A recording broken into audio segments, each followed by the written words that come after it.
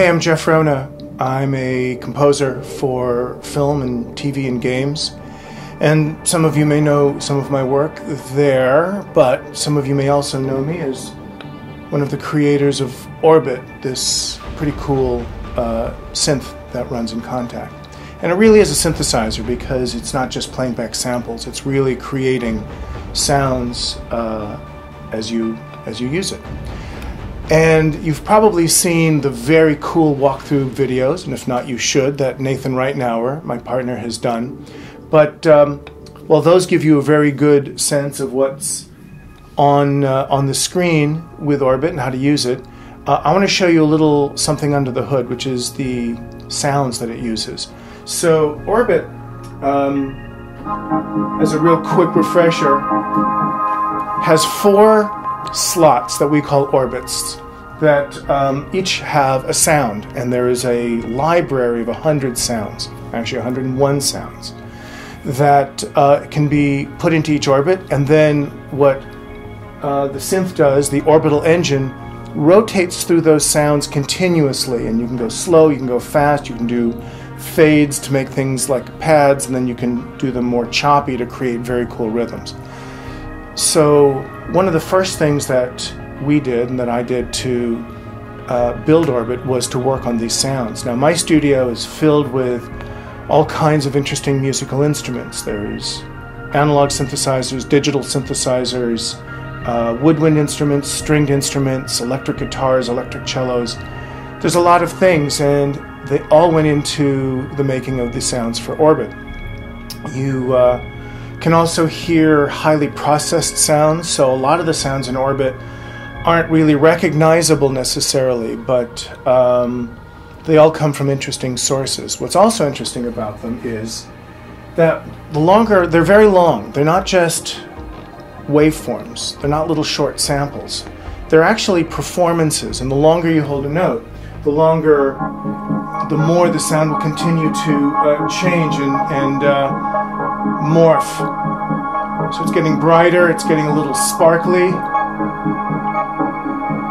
Some of the other voices inside of it are, are starting to shift if you can't hear it too well.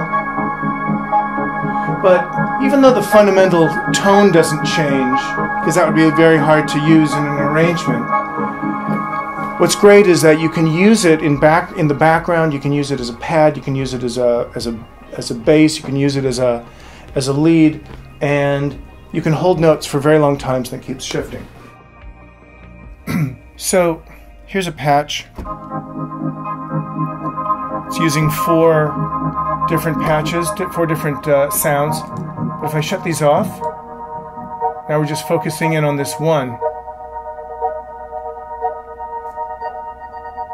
And uh, it's going through a little bit of processing, a little bit of delay, uh, an impulse response, a little bit of filter.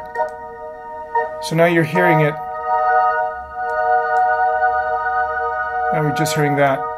So now we can go through and uh, you can hear how the different sounds uh, are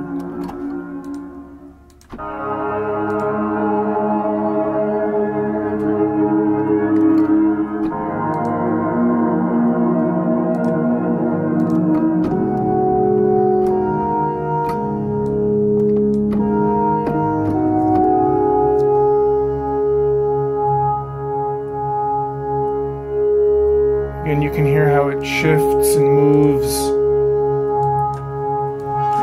Me shut off all the filters here. There we go.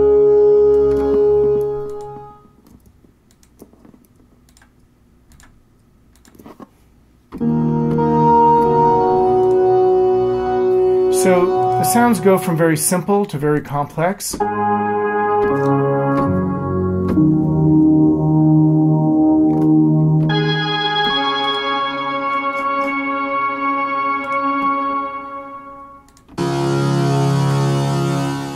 Is a big modular synthesizer here in the studio.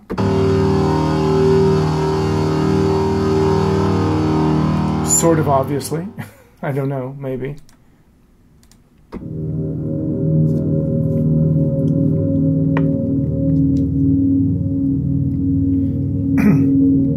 This uh, started off as a vocal sound. But you see, as long as I keep holding it down, it keeps shifting and morphing, but that's actually in the sound itself.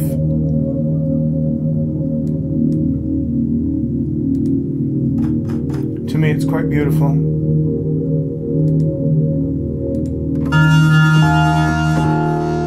Again, a very simple analog style sound.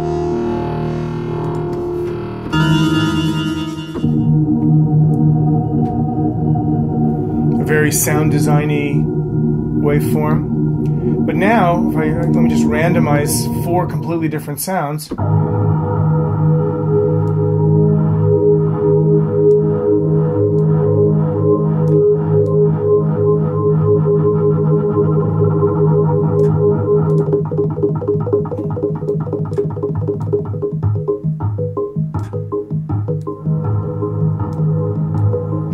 Absolutely no effect or anything.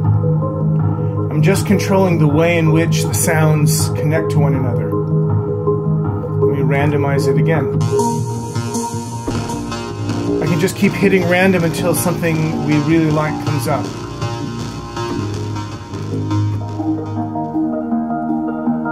Oh, I like that. Then I can go ahead and add some effects to it.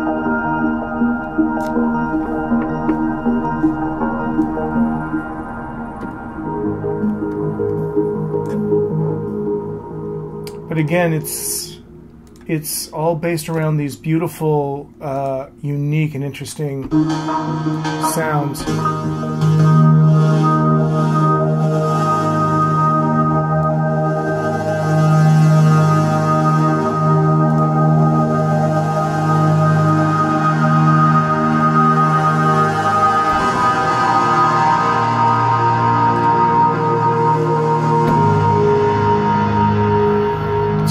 Big fat sound. It's uh, it's pretty impressive. Anyway, it was uh, it was a labor of love over a period of about a year to uh, to build this catalog of of performances. A lot of it came from some of the projects that I worked on over that year. And then coming up with this engine as a way to really get them to do something that you couldn't do just by triggering a sample. That was the fun part, and that's kind of the magic of what uh, Orbit is. Anyway, I hope you'll check Orbit out. Um, if you go to our website, which is widebluesound.com, uh, you can find some uh, Apple loops and uh, acidized wave files of some of our some of these sounds if you want to just sort of play with it, and um, and then you can get the the uh, instrument there if you like it. So check out Orbit, and uh, that's a little bit about how it got uh, put together. Thanks a lot for checking it out.